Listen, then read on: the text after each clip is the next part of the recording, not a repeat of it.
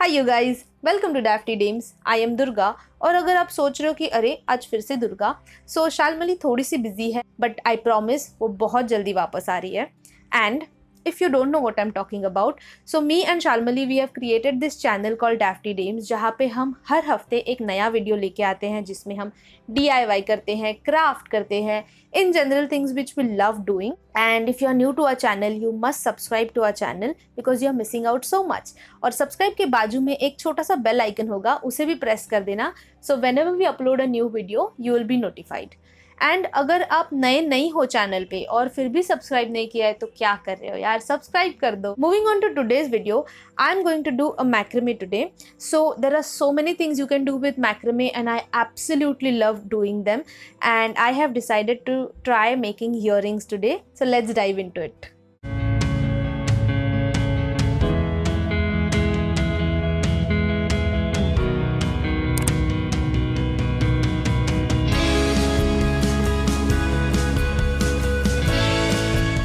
For the first one, I have taken this plain black pair of earrings and we will need measuring tape, brush and then an army green shade का macrame cord लिया है मैंने इसको first 8 inch measure करेंगे हम tape पे then we will fold it in uh, six times so छः बार इसको fold करके same length पे फिर uh, ये macrame cord cut कर लेंगे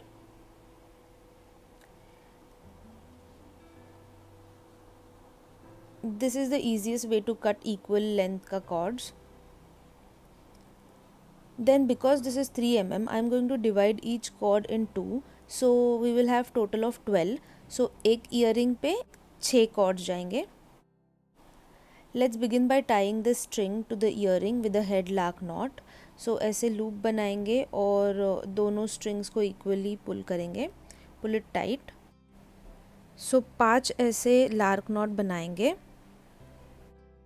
जो सिक्स वाला है, वो राइट साइड पे टाई करेंगे और उसमें का जो सबसे right side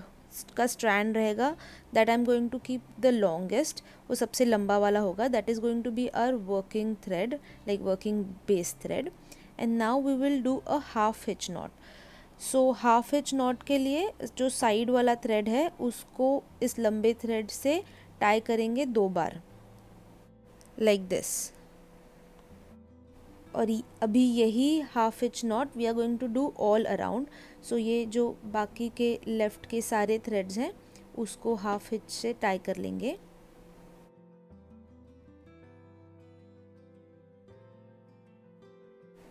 So this is going to be our design for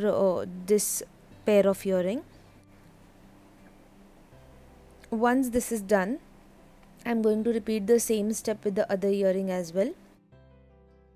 so so, दोनों पे अभी हो गया है। So the next step is going to be ये जो नीचे के टैसल्स है इन थ्रेड्स को ओपन करेंगे ब्रश से like this so this will take a lot of time so once this is done अभी ये जो वर्किंग थ्रेड था जो साइड से ऐसे निकला हुआ है उसको ऐसे कट कर लेंगे और उसका जो टिप है उसे हम पीछे के साइड पे ग्लू कर देंगे। सो so, दोनों ईयर पे ये हो जाने के बाद we will just cut the tassels in the shape like you know whatever desired shape so I am going to give it a semicircle और पहले ईयरिंग का रेफरेंस से फिर सेकेंड ईयरिंग भी टैसल्स कट कर लेंगे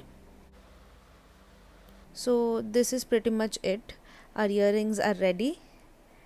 so these are first pair of earrings wow i just love this color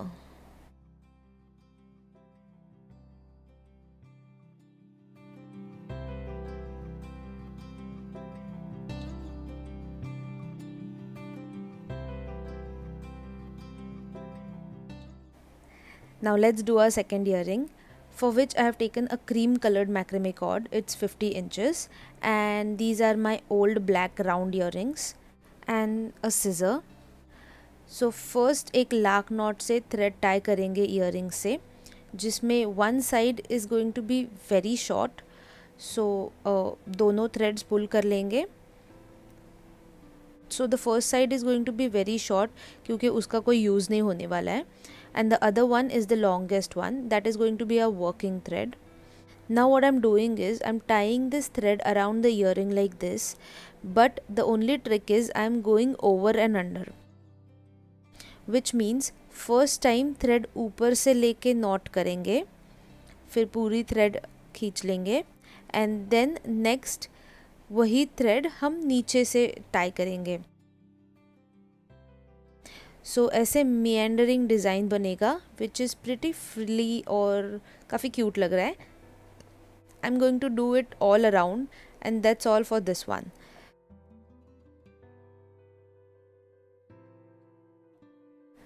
cut both the end short and glue करके पीछे छुपा देंगे। Repeat the same thing on the other one and that's that for this one. i guess this was super easy and fun to do kind of design right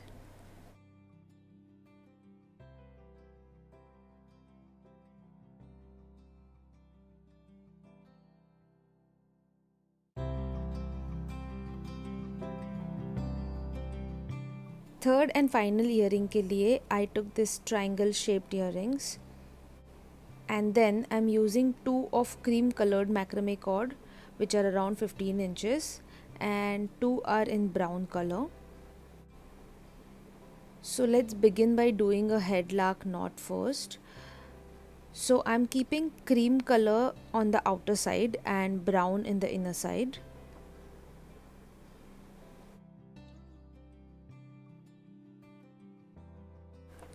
So once that is done i'm going to stick a masking tape so that uh, wo hilenge nahi when we are working and uh, first let's work on the brown threads i'm going to do a square knot first from the right side and finish it with the left side like this once that is done I'm going to do a half hitch knot from the right side so the right most thread है उसको उसके बाजू वाले thread से ऐसे दो बार tie करेंगे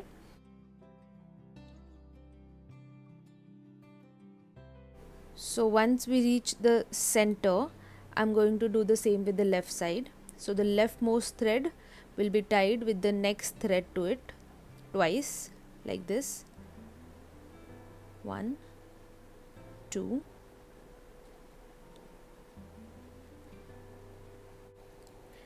and once we reach the centre फिर ये जो दोनों थ्रेड्स है उनको एक दूसरे के साथ ही टाई कर देंगे so this is a first triangle then we will repeat the same step and do the second layer of it and again we will tie a knot in the center so this is pretty much the design for this earring uh, i'll do the same with the second one as well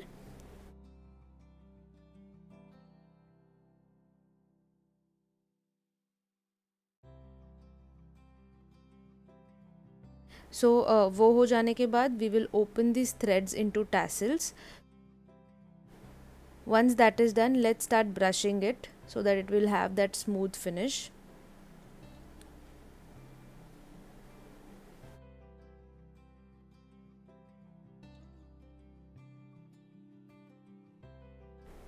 Let's give it a shape. I'm going to go for a triangle one. So uske liye uh, first i'm going to cut this whole thing in a diagonal shape.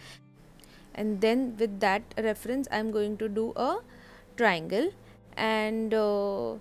second uh, को भी उसके reference से, उसके length का cut कीजिए and that is pretty much that and ये है हमारे ट्राइंगल शेप के beautiful earrings ready